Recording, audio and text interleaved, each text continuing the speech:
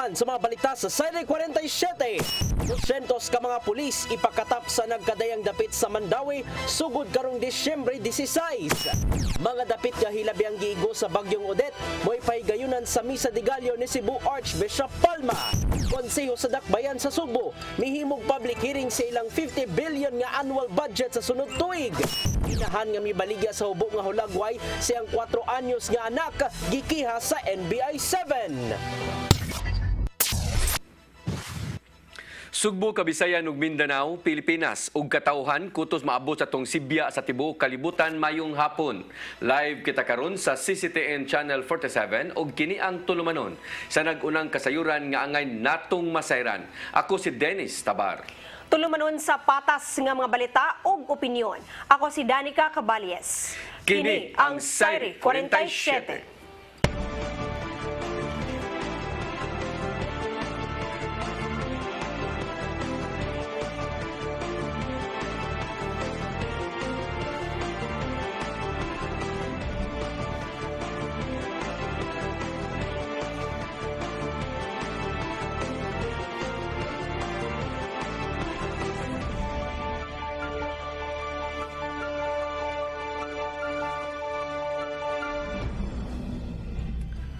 Og karon sa kumpletong detalye sa atong mga balita, Mandawi City Police Office mo pagkatap og kapin 200 ka mga police personnel sa nagkadaiyang lugar sa Mandawi sugod karong Disyembre 16. Ang kasayuran ihatod ni Mary Rose Sagarino.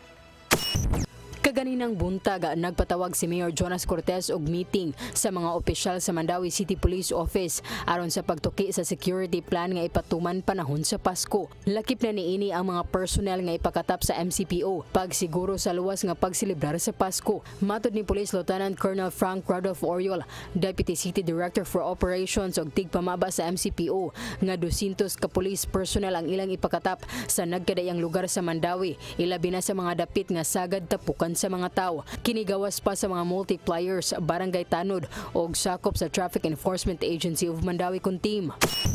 Anto na ni siya sa 24. So, pag i-identify na to ang mga ang mga simbahan, ang mga chapels na to i-secure as well as the mga areas of convergence o mga terminals, mga recreational facilities, mga kwan department stores, gapil po nato na. It's parts of our security plan kay uh, we have to follow the orders of the, of the directive of the regional director na aside from the churches, we also have to secure the people padong sa simbahan o gikan sa simbahan padong na papauli sila ang mga tagatag sa kapanimalay. Gawas ni ini, nahisgutan usab sa meeting ang isyu sa pabuto kung tugta na ba kini o dili. Accordingly, uh, at this at this point, uh, the NGO wala pa gihapon mo sa pagkakaroon no? Sa pagkakaroon wala pa mo tugot ang atong NGO whether to allow the display or selling of firecrackers. But the mayor is not consulting uh, having a consultation meeting with other business sectors is whether to allow finally whether to allow uh, firecrackers kwan companies or firecracker display Kahinumduman nga giban sa dakbayan ang paggamit sa pabuto og pyrotechnics ni adto pang tuig 2017 aron paglikay sa posibleng disgrasya nga mahitabo tungod sa pabuto. Gituki usab sa meeting ang security plan nga ipatuman ato sa traslasyon sa Mandawi igenero 13 sunod tuig nga kabahin sa kapistahan ni Senior Santo Niño. Mary Rose Sagarino, CCTN News. Mi pahinumdom ang Department of Trade and Industry sa Sugbo sa mga konsumidor nga magmatngon sa pagpalit og Christmas lights sa merkado. Maton ni Dina Gladys Oro sa DTI Cebu Province nga dili angayang mangumpiyansa ang mga konsumidor sa baratong Christmas lights aron i-decorate sa balay. Kini aron kalikayan ang dakong sunog tungod lang sa pagkapalyar ni ini. Mitambag si Oro nga kinahanglang sutaon sa konsumidor kung adunay ICC sticker ang gip- ang gipalit nga Christmas lights. Ingon man ang address sa nagmanufacture ni ini. Padayon ang monitoring sa mga tindahan aron masuta nga walay low quality nga Christmas lights ang mabaligya sa merkado. if when wala sa product, you know, because sometimes di man maklaro kung sa product, okay, uh, they have to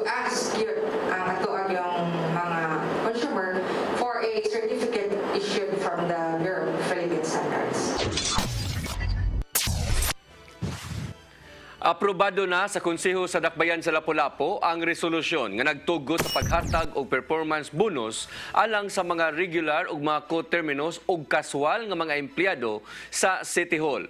Kini mo'y gitug-an ni Konsyal Annabeth Quezon diin matagkawani makadawat og 25 mil pesos nga performance bonus o equivalent sa ilang usa ka buwan nga sweldo.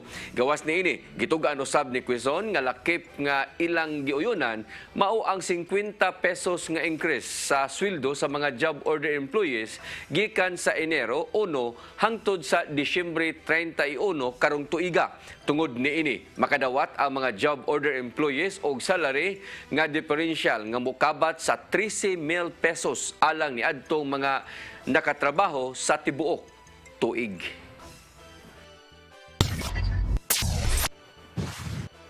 Gikumpirmar ni House Ways and Means Committee Chair ug Albay Representative Joey Salceda nga nininguha nga mapasar ang Maharlika Wealth Fund sa dili pa ang Christmas break.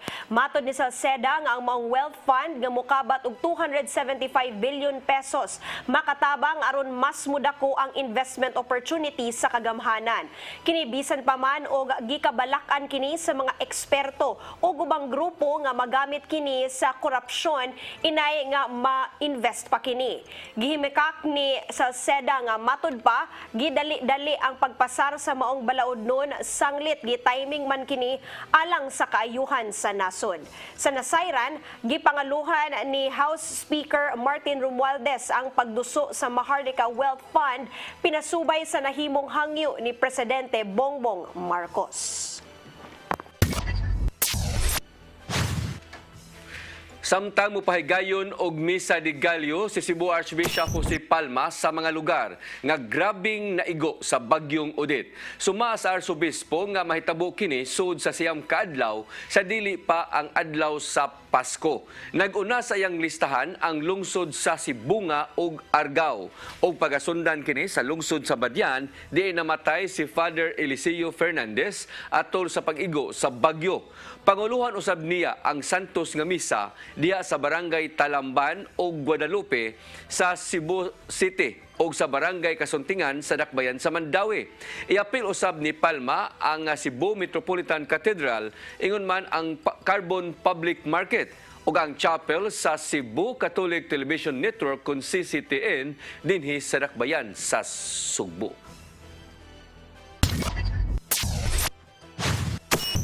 Musunod, Konseho sa Dakbayan sa Sugbo, mihimog public hearing sa ilang 50 billion pesos ga annual budget sa sunod tuig. Kana ugupan pa mga balita sa pagbalik sa Serie 47.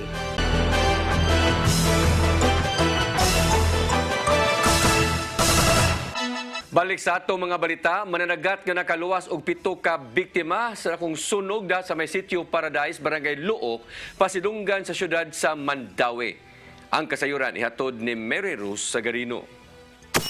Pasidunggan sa syudad sa Mandawi si Diobit Pinuti. Ang mananagat nga nakalawas og pito ka tawo. Lakip na ang tulo ka buwan nga bata. Atol sa dakong sunog sa City of Paradise Barangay Luok ni adtong Nobyembre 22 kini human ang mga sakop sa konseho sa Dakbayan sa Mandawi. Ni palabang og resolusyon aron daygon ang mananagat nga niluwas sa mga biktima sa sunog nga miambak sa kadagatan aron makalikay sa sunog. So in Mandawi City, we really would like to show to everybody that no matter unsa kagamay or dako ang imuhang tabang na nahimo sa among syudad, we always um, know enough thank you to let you know we appreciate the act. So mao to nga we, we we commend his action for that. Plano ninyo kung sa invite siya? Yeah, I also asked the uh, SP secretary to invite him and hand over personally the plaque of appreciation to Mr. Pinote. Ang resolusyon ni Dilmar nga gi-co-author usab ni Council Ernie Manatad, presidente sa Association of Barangay Councils, na palabang atol sa regular session sa City Council kaganinang buntag. Matod ni Dilmar nga iya usab i-discuss sa miyembro sa konseho kung mamahimo ba silang makahatag og pinansyal nga ayuda o trabaho kang pinuti. Gawas kang pinuti ang City Council. Ni pasar usab og resolusyon nga nagdaig og nagpasalamat sa Bureau of Fire and Protection og Disaster Risk Reduction and Management Offices sa mga silingang lokalidad og mga fire volunteers sa paghatag og dinaling tabang atol sa insidente sa sunog. Kay for me, no enough compensation to pay for the heroic act that what they did last November 22, 2022. Ang dakong sunog sa City of Paradise ni og daw og 250 ka banimay og ni display sa 670 ka pamilya. Mary Rose Sagarino, CCTN News. Senador Sherwin Gatchalian gusto nga muhimo inventory sa mga namuyo sa danger zone. Kiniaron sila mapangitaan og permanent relocation. Ang kasayuran ni hatod ni Fatch Anthony Inso. Tinguha karon ni Senador Sherwin Gatchalian nga mohimog inventory ang gobyerno sa mga namuyo sa mga danger zone lukop nasod. Kini aron mapangitaan sila og uh, permanente nga relocation site nga mahimo nilang kabalhinan. Mato ni Gatchalian nga kadto mga namuyo sa mga danger zones padayon silang hamukon sa hulga sa mga kalamidad sama na lang sa linog, bagyo ug sunog. dapat ano, magkaroon ng ah, inventory kung ilan yung mga kababayan natin nakatira sa ganitong. Uh, naintindihan ko, government area ito eh. no? So, ah, marami sa ating mga kababayan na tumitira dito dahil malapit sa trabaho at walang malipatan. So, ah, I think ang unang gagawin ay tingnan natin kung yung mga nakatira sa ganitong ah, sitwasyon at para mabigyan ng permanente pabahay. Whether in city or out city, ah, importante malaman muna natin yung bilang. Datong biyernes sa hapon, si Gatchalian ang nibisita sa mga nasunugan sa Sitio Paradise Barangay Luog, Syudad sa Mandawi. Kaniaron sa pagdonar o gahinabang nga sa kagatos kasako sa bugas humay. Ah, meron kaming donation ng mga pagkain and uh, of course para makita yung situation dito sa Mandawi ah, kasama si board member Ken, si Hong Ahong at ah, alam niyo yung mga ganitong lugar madalas talagang masunugan eh. In kwento pa lang galing ako sa Labotas ganito rin. So dapat tignan na rin natin yung mga permanente ah, pabahay para sa mga ah, nakatira sa mga ganitong danger zones. Ang senador gikuyugan nilang Lapalapo City Mayor Junarda Hongchan, Mandawi City Vice Mayor Glenn Bersede ug board members Glenn Soco ug Tining Martinez. Foch and Thini Inso. CC Tianus. Cebu City Mayor Michael Rama mihangop sa planong modernisasyon sa kompanya nga nag-operate sa pribadong landfill diha sa Barangay Binaliw.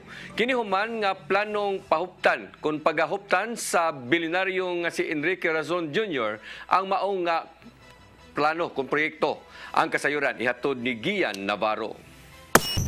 Gibutyag ni Cebu City Mayor Michael Rama nga iyang gihangop ang planong pagpalambo pa sa ARN Central Waste Management Inc. ang operator sa Binaliw Private Landfill. Siniatong nakalabay nga adlaw nakita og interes ang bilyonaryong si Enrique Razon Jr. sa pagsulod sa maong lokal nga kumpanya. Pasabot nini planong paghahuktan o i-acquire sa Prime Integrated Waste Solutions ang ARN Central Waste Management aron i-modernize ang pag-manage niini sa landfill. Sa nasairan, ang Binaliw Private Landfill ang gi-operate sa ARN. Nga mo'y nagdawat sa usa ka libo ka tonelada ka mga basura gikan sa Sugbo. Apil na ang dakbayan sa Sugbo. Kuno galing pagadumalawon kini sa kumpanya ni Razon, lauman nga mamahimong sustainable ang operasyon nini pinagi sa mas moderno nga kagamitan ug mas efficient pa. Apan nakita ni Mayor nga kinahanglan niya mudangup una sa konseho sa Dakbayan. Kini aron masuta ang legalidad nini ilabi na nga gitambak sa Binaliw landfill ang mga basura sa Dakbayan pinagi sa ilang hauling service provider. Dili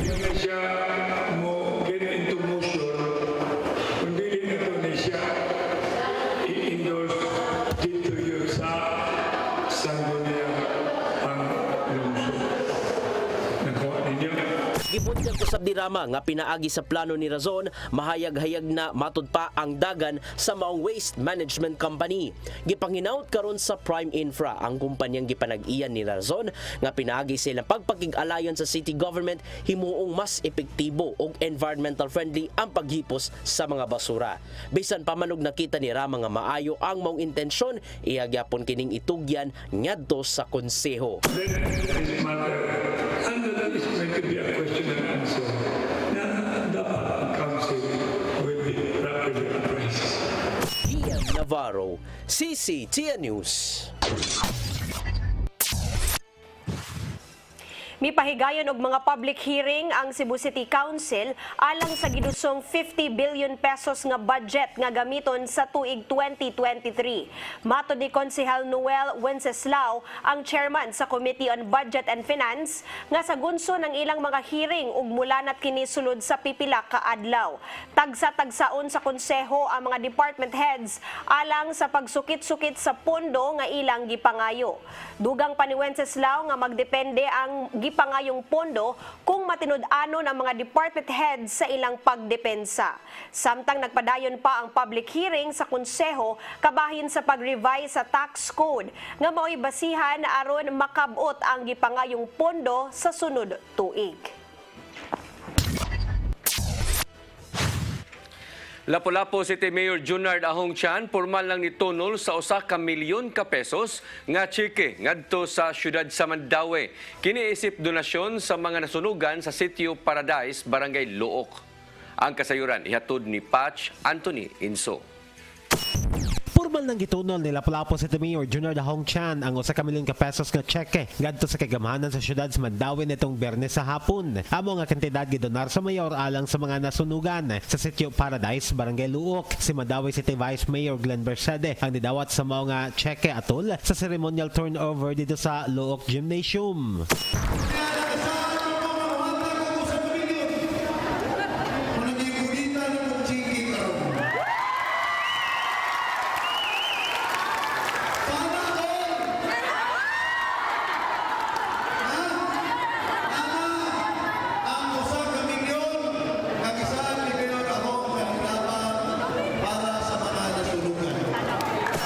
Duman nga si Chan ang una nasab nga ni Donar sayang sa kabuwan nga sweldo nga sa mga nasunugan nga may kabat sa 188,000 ka pesos. Gawas nini ni Donar usab o mga food ug non-food items ang syudad sa Lapu-Lapu nga sa Mandawi pagkahuman gilayon sa sunog. Awag hinon ni Chan nga sa mga nasunugan nga gamiton sa ang donasyon nga ilang nadawat din kinay gasto sa pagpalit og mga housing materials o di kaha sa pagsugod o gagmay nga negosyo.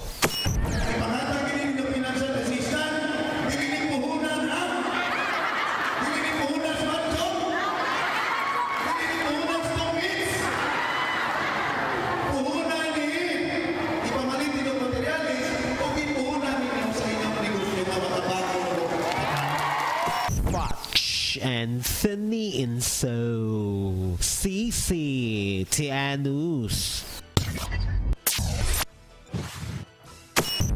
Musunod, inahan nga mibaligya sa hubo nga hulagway siyang 4 anyos nga anak gikiha sa NBI 7. Kana uguban pa mga balita sa pagbalik sa Sire 47.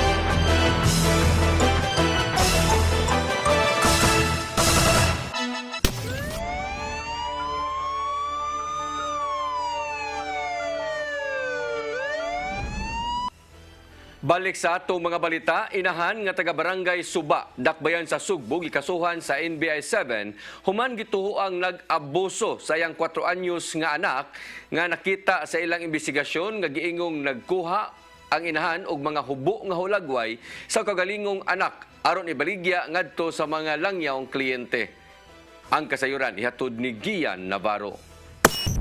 Gipaabot na karon sa National Bureau of Investigation 7 ang warrant of arrest aron madakpan ng sospek taga Barangay Suba Dakbayan sa Sugbo. Milusad sila og investigasyon human nakadawat og sumbong gikan sa nasod nga Norway kabahin sa pagpang-abuso sa mong inahan ngadto sa 4 anyos niyang anak nga babae. Sa pagpakisusi sa NBI 7 nakita nila nga giingong gibaligya sa sospek ang malaway nga hulagway sa kaugalingong anak ngadto sa mga langyaw nga kliyente. Nakita sa ilang investigasyon nga giingong gikuot sa inahan ang kinataw sa kaugalingong anak aron makuhaan og hulagway. Hangtod nga na-rescue niya tong Nobyembre 30 ang mong anak ug kasamtangang gikustodiya sa mga sakop sa DSWD7. Apan wala diya dayon gisikop sa NBI 7 ang inahan human nga matud pa wala na aktuhan sa maong ilegalidad. Kasong kalapasan sa Anti-Child Pornography Act Cybercrime Prevention Act ug Human Trafficking ang giatubang sa maong nga sospek. Samtang gipaubos na sa digital forensic examination ang cellphone nga giingong gipanag-iya sa sospek. Gian Navarro, CCTN News.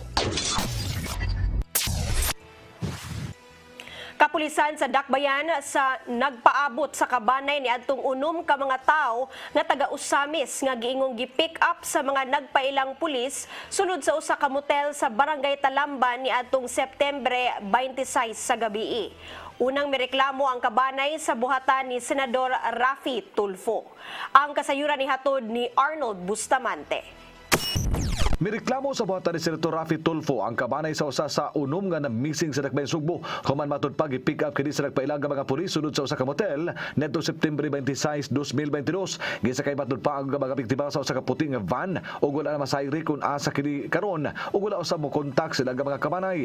Ang mga na missing hangtod karon mao sila nga Jessica Piang, Mary Chris Elio, Marvin Carvalho, Sheila May Duhay Lungsod, alias Hitay ug alias Buyong. Matud ni Police Major Alvin Llamido, ang sa Talamban Police Station nga duha ka adlaw human sa insidente. Diha pa may report sa ilang gabuhatan ng manager sa Diin Motel nga nanibutang sa sitio na sipit sa barangay Talamban aron mosusik kung doon may police operation. Di nang ilang guest ang involved. Apan tungod kay walay operasyon ng kapulisan sa Sugbo nga aga target na sa sulod sa motel, giblatter lang kini nga missing person o wala usab mo demanda ang mga nag-pick up ug ransom money. Kasi yung nagbigay ng report sir regarding missing person, yung manager ng, ng DN sir during after the incident of uh, September 26. So parang missing person lang sir kasi uh, according to him na alleged police operation. Colonel Erino Dalugdog, ang hepe sa Cebu City Police Office, mimando sa Station Commander sa Talamban, nga murusa ng ocular inspection sa repeat aron masayran kung doon ba mga ebidensya nga makuha. Pag ah, nung malaman ko yun, ah, immediately, ah, sinabihan ko yung ah, station commander na ah, you conduct ocular inspection doon sa area kung saan nangyari and then mag-conduct agad ng immediate ah, investigation. Sa inisyal nga pakisusi sa kapulisan ng suta nga doon ay CCTV camera sa establishmento apan wala kini mag-andar ug wala usab nila makuha ang plate number sa sakinan sa gigamit sa mga armadong nagpailang pulis. Bisan sa pagpaabot sa formal nga reklamo gikan sa mga kabanin ni mga namising apan nagpalain karon ang kapulisan sa ilang investigasyon gidugang ni Llamedo nga labing maayo nga muanhi sa dakbayan sa Sugbo ang reklamante. Aron masugdan na nila ang full-blown investigation uban sa laing unit sa kapulisan sa Central Visayas. Nag-initiate din kami sir kahit, kahit wala pang proper complaint sir. Kasi may na-receive naman kami sir pero the staff of sinasakot Ipagsubay na karon sa mga investigador ang mga silingang establishmento kung doon may mga CCTV camera nga nakakuha sa gingong puti nga van nga may gisakyan sa mga biktima. Lagip silang susihon ang mga background sa gipang dagit aron dito sila magsugod silang investigasyon. Arnold Bustamante, CCT News. Managlahing sunog ang girespondihan sa makabumiruhan sa Dakbayan sa Sugbo niadtong Domingo. Dili mo minus 300 ka mga pamilya ang apektado gikan sa duha ka mga barangay. Ang kasayuran ihatod ni Gian Navarro. Daling nakaresponde ang mga sakop sa Cebu City Fire Office human nadawat ang alarma sa sunog diya sa sitio Wangyu, Barangay Mambaling Dakbayan sa Sugbo. Niulbo ang dakong kayo gikan sa pamilyang Senabre pasado alas 2 na sa kadlawon. Gisa kini nga sa second alarm ug daling mikaylap ang dakong kayo hangtod na sa 150 ka mga panimay. Nagigkumbati ang mga bombero hangtod nga napaong ang kayo sa takdaga alas 3.7 sa kadlawon. Mabot sa 3.7 million pesos ang natalang danyos diin, apektado ang 300 ka mga pamilya. Geti man na ang mga apektado nga to sa masakop sa Department of Social Welfare and Services alang sa ilang financial assistance ug pagkaon sud sa pipila ka adlaw. Apan nitong Domingo sa buntag, laing sunog ang nitumaw na usab diha sa barangay Basak San Nicolas sa Dakbayan sa Sugbo. Gikataho kining nagsugod gikan sa Mercantile kag gipanag-iya ni Juanito Maderaso apan napaong kini kadugayan. Mabot sa tulo ka establishmento sud sa mong building ang naugdaw ug mukabat sa 9 milyones pesos ang natalang danyos. Pareho nang gisubay sa mga kabomberohan kung unsa man ang hinungdan sa managlahing mga sunog. Gian Navarro, CCTN News. Kapulisan sa Dakbayan sa Sugbo mukihag alarm and scandal sa duha ka grupo nga nagrambol sa Mango Avenue sa Barangay Kamputhaw niadtong Sabado sa kaadlawon. Ang duha ka grupo gipatawag sa buhatan ni Police Colonel Ireneo Dalugdog uban sa kapitan sa Kamputhaw ug ni Konsehal Philip Zafra. Ang kasayuran ni hatod ni Arnold Bustamante. Sa video nga gi-upload ni Grace Panugaling sa iyang Facebook account, makita ang panagrambol sa mga batanon pasado alas 4 sa kadlawon nitong Sabado, Disyembre 3, 2022. Usa ka lalaki ang gitamangan sa pagkulata apan kanit lang nga naabot ang usa ka pulis nga may miuwang sa duha ka grupo apan makita nga wala kini mo patuo bisan sa pagbadlong sa mga nakasaksi. Human ni nag-viral dali nga mimando si Police Colonel Ireneo Dalugdog sa hipi sa Abiliana Police Station nga ilhon kinsa ang nalambigit nga grupo aron ipatawag kini siyang buhatan. Daling nailhan ang duha ka grupo gipatawag ni Dalugdog uban ni Konsel Philip Safra lakip na sa kapitan sa barangay Kamputaw ug dinhi nasuta nga babay ang hinungdan sa kagubot atol sa tigom na hukman sa duha ka grupo nga dali na mopasa kag kaso ug nagkauli ra ang ilang maayong kabubuton. So ngayon, ah, pinupulong namin kasama yung station commander, nandun yung barangay kapitan na barangay Kamputhaw at saka nandoon din siya si Honorable Philip Sapla para kinakausap sila at ah, nag yung both parties naman walang ano, walang ah, hindi sila nagpapayal ng kanilang kanilang kaso. Kumbaga parang nag ah, amicably settled. Apan bisan pa man nga nagkauli ra ang duha og dili na mukiha ang kagamanan sa dakbayan sa Sugbo ug ang kapulisan ang musang atog reklamo ngadto sa piskalya sa kasong alarm and scandal. Kini aron mo tagam ang maong nga mga batanon nga mohimog kasamok diha sa kadalanan saglit dili lang makausa ka higayon nga adunay insidente sa kagubot nga hinimuan sa mga batanon nga mag-inom. Pero yung ah, city government represented by Honorable ah, Philip Sapla ay hindi nila ano, hindi nila tinutuloy. Even kami mga kapulisan, gusto namin na masampahan ng kaso yung mga kabataan na yon, yung mga tao na yon dahil ah, hindi lang to first time nangyari. Pangalawang beses na to. So sabi nga ni Honorable Philip Sapra, ah, we will study. Kung ano yung ah, pinakababa siguro na ipapile nila is yung alarm and scan. Klaro hinaw ni Dalugdog ang duha ka grupo nga nalambigit sa kagubot dili na mga minor de edad. Sanglit nagpakidaro na kinig 27 pataas. Dili usab sakop sa fraternity ang duha ka grupo. Sanglit man nagbarkada ra kini nga nagkasinabot nga mag-inom sa Mango Avenue sa Dakbayan sa Sugbo. Arnold Bustamante CCTV News Nasikop kagabi sa Mandawi City Police Office ang usa ka American national human giingong ng logo sa usa ka minor de edad nga taga-dakbayan sa Mandawi. Kasamtangang gitanggong karon sa Subang Dako Police Station ang suspek nga giila nga si Frank Ramon sa 66 anyos. Siya giila nga top number one nga most wanted person diha sa Mandawi tungod sa kasong pagpanglugos. Apan matod sa Mandawi City Police Office nga wa masayod ang suspek nga dunay gipasaka nga kaso bato kaniya. Gingong nahitabo ang insidente sa niaging tuig. After, actually, based on the narration of, of, of the victim, because the victim is very cooperative with us. So, based on the narration of the victim, uh, somewhat, kalastir mo o kanang parang bugaw-bugaw ko na sila niya wala siya kay kay Bano the victim himself the victim herself is is one who complained kanya with regards siya, siya mismo ang nipile Lamdag, uban ni Tatay Dodong Limchua.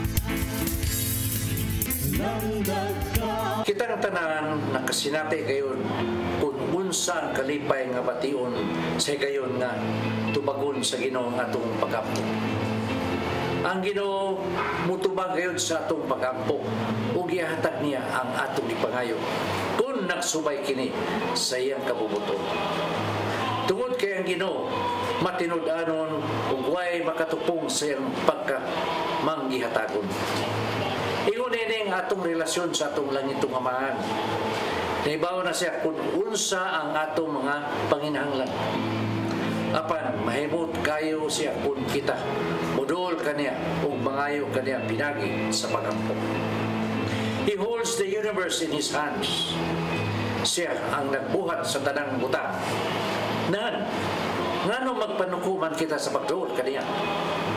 Tutloy ako pag kinabuhi uyon sa imong kamaturan kay ikaw ang manluluwas ko nga nagsalig ako kanimo kanunay. Salmo 25.5 Mga igso, mo kining atong lamdag karong adlaw. Ang salamat. Shalom.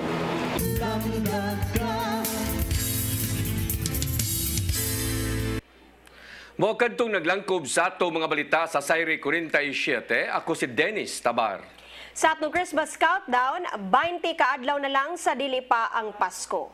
Ako si Danica Caballes, hangtod ugma sa inyong paboritong tulumanon.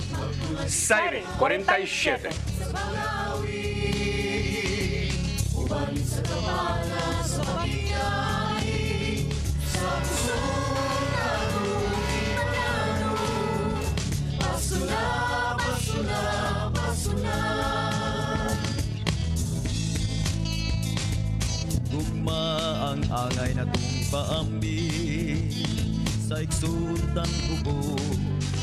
Gutom sa pagmahal.